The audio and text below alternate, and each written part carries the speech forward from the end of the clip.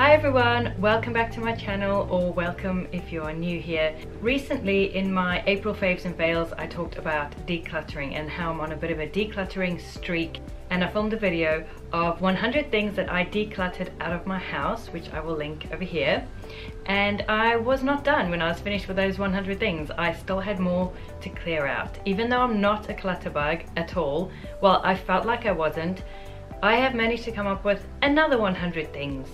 I've also invited a few other YouTubers to join with me in decluttering 100 things from their homes. All of the YouTubers are awesome, their content is great, and they live in different countries and they have different life circumstances. So I thought it would be interesting to see the different things that they manage to declutter out of their homes. So we've done this as a collaboration. If you are new here to my channel from one of those other channels, welcome. Thank you for watching my video. Thank you for popping over. I would love to have you as a subscriber so please consider subscribing to my channel. The other channels are awesome. I've approached them individually, channels that I enjoy watching, so please go and check out the playlist that I will link down below of the other videos showing 100 things being decluttered. So let's jump into the 100 things that I have managed to declutter out of my home. These pillowcases, we just don't use them. I found this creme brulee mix in my cupboard and it expired in April 2011 so I think that can go. This hot chocolate has about one or two servings left and it's been in the cupboard for ages and in fact it expired in 2013 so that can also go. This watch because I just don't wear watches, this was just a really cheap one. This duvet cover set which we have had for about a decade. This pair of duvets, I'm just going to pair them together because these are just the cheap crappy ones. We've always just bought cheap duvets and the stitching comes undone and all the stuffing moves around and they're just horrible. And I've been slowly upgrading our duvets to really good ones like I mentioned in my April faves and fails and these can go now. These pots from a food processor that I got from the op shop or thrift store which was actually broken and I tossed ages ago but I found these in the cupboard so these can go this pair of sports socks because it's lost all elasticity and it just creeps down into my shoes. This wide elastic belt, I just don't wear it. A wide belt like this just doesn't suit me because I have a short torso. This blush brush, I never use it. It's just kind of an awkward bulky shape. I've had it for years and years and years. This little makeup palette, I just don't use it. I also don't use this little e.l.f. palette. I normally highly, highly rate the e.l.f. Um, eyeshadows. In fact, all their products that I've tried except for the mascara. But these aren't actually all that good. They're okay, but they're not in colors that I'm going to use. I mean, you can see I've used these two, tiny bit of that one, but I mean, they're just standard colors and there's no point hanging on to it just for a couple of colors anyway. This top from Kmart, I bought two at the same time. I wanted them kind of loose and flowy um, so I bought a size 16 and then this one is a size 18 and I live in the 16. I got it in like a berry color. It is my favorite t-shirt. But the 18 is just a bit too big. Um, the neckline is just slightly too wide and it's constantly slipping and showing my bra strap which is annoying so this is gonna go. I wish I'd bought this in a 16 as well. I love the color but no point hanging on to it if I'm not gonna wear it. This bracelet these rings, I just don't wear them anymore and some of them are looking a bit old and tarnished so they can all go. I haven't worn this little knit tunic in a while, like a couple years, so that can go.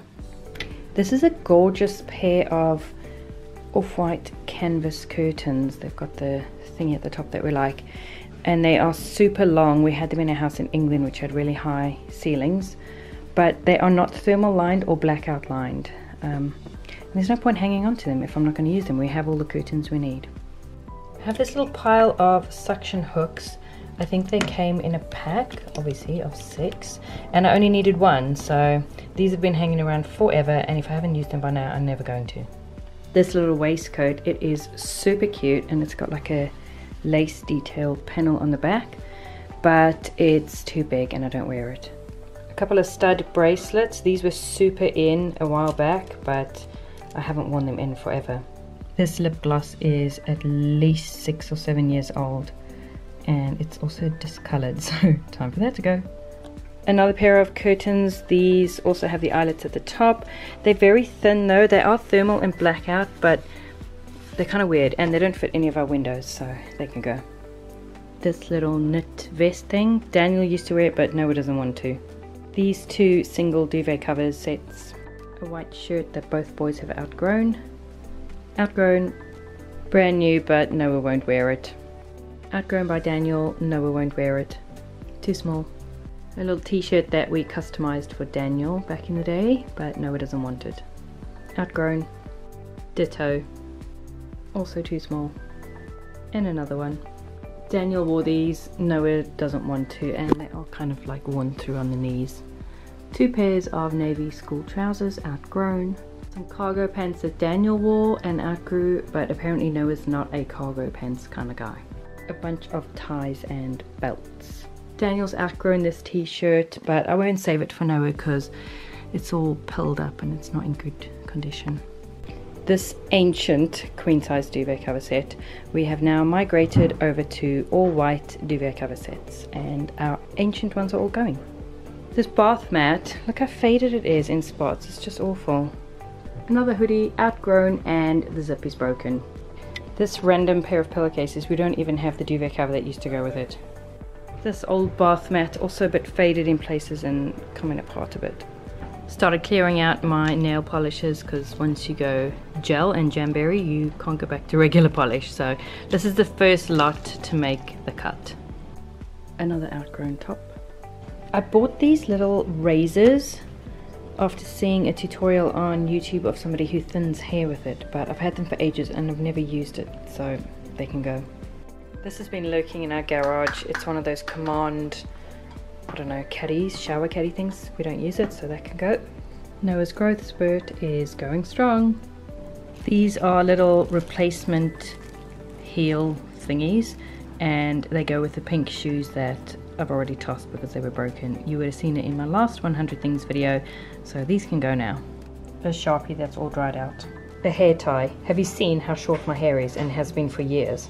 This little emery board that I used for scuffing up things when I was crafting I don't really craft much anymore and if I do I can use sandpaper. My kids have outgrown this book. I've got a little baggie of these glass pebbles to which I've glued photos and the plan is to stick magnets on the back and they make great gifts but I've had them for ages. I'm not going to do it so I'm going to pass it on to a friend. This CD folder because I have one in the car for music discs, yes we still have CDs in the car. And then I have a massive one with all of our backup discs so don't need this little one. This clock has nowhere to go in our home. The last time I used it was for my New Year's Eve shelf. I'll insert a picture here but I actually forgot that I had it I found it in a cupboard and if I haven't missed it then I won't miss it if it's gone a book my kids are done with this book I really enjoyed it but if I want to reread it I'll get it from the library I found this pouch with um, some instruction manuals, including one for the fridge. Pretty sure I know how our fridge operates, so that can go. This little brown dish that I just don't use. Never used this. I have a bunch of sewing patterns that I just know I won't use.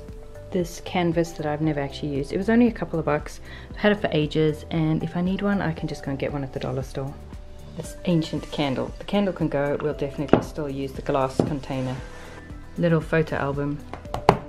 This 8x8 inch scrapbook album. Two floss boxes full of crafty bits and beads. I know of a friend who'll enjoy this. Some homemade patterns for things that I'm not going to sew again.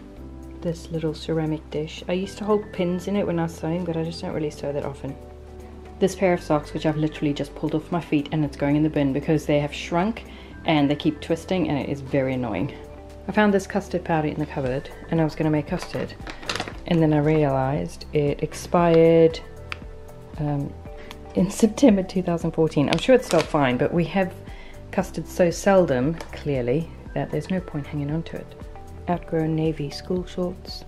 These shorts are Daniel outgrew and passed down to Noah but now Noah won't wear them. More shorts, these were passed down to Noah from a friend and he won't wear them a couple of faded and bleach spotted bath mats. This book, it's actually a really good book. The little collection of knitting needles. I have really tried to like knitting. I like the idea of knitting, but I just don't like knitting. A little pile of yarn. This little embroidered like doily thing. It's stained and I don't even know why I have it. This tiny little spanner. I didn't even know I had it and so I'm not likely to look for it and I don't actually know what it's for. Some crafty bits that I've had forever and with all the best intentions of the world I've just never used so they can go to a friend who I know will use them. This 12 by 12 project pocket, again I don't use it. This plastic zip bag, I think I got a throw in it. Um, and I thought I'd use it to store things, but I just don't. This fleece hat that I've had since England days, I just don't wear it. And if we go to the snow or something, I've got black knit beanies and I'd wear one of those. This empty Jamberry box that my kit came in. This pile of stickers I've had again since my scrapbooking days in England and I just haven't used them. If I haven't used them by now, I'm not going to. This pair of little pump bottles I bought for nail polish remover, but they actually leak, and because they don't seal well, the nail polish remover also evaporates. Random little gift bag. This plastic serving platter thing, I used to use this for Jamberry parties, but I don't do parties anymore, so this can go. A couple of little plastic bowls that I don't need anymore. This pair of old frames that are painted brown at some stage, and it's kind of scuffed. Um, I don't use them so they can go. The box from my iPhone, I really don't think I need to keep the box. Pile of Jamberry business cards because I decided to downgrade to hobbyist so I don't need these anymore. Three little bead organizers and there are some beads in there. Randomly a couple of cabinet pulls um, that I've never actually used. This fan that was given to me by our Korean exchange student a few years ago that we had staying with us um, it was a lovely thought, and I have actually used this when it got really hot in church, but I just I haven't used it in ages, so there's no point keeping it. These gel strips that are supposed to go in the back of your shoes, I don't even know how long I've had these, and I've never used them. This off-white dress, which is too small. This dress that I thrifted, um, I don't know why I bought it, it kind of fits a little bit funny. I hope you enjoyed seeing the 100 things that I managed to get out of my house. I am loving the freedom that comes with extra space and no more clutter. It just kind of blocks your energy and it's great to just get it out of the house. I would urge you to do this even if you don't have a YouTube channel. Go and see if you can find 100 things around your house to get rid of. It's actually surprisingly easy. I thought it would take ages to get to 100 things in the first place and I've just completed 200 things altogether. This is counting my last video. So just give it a go and see what you can come up with. Please don't forget to check out the other videos in this collaboration. I've got the link down below. And I'd love to hear from you in the comments down below. Which item that I have decluttered would you have liked to have taken off my hands? That's it for this video. Thank you for watching. Please give us a like if you enjoyed this video and consider subscribing if you haven't. I'll see you next time.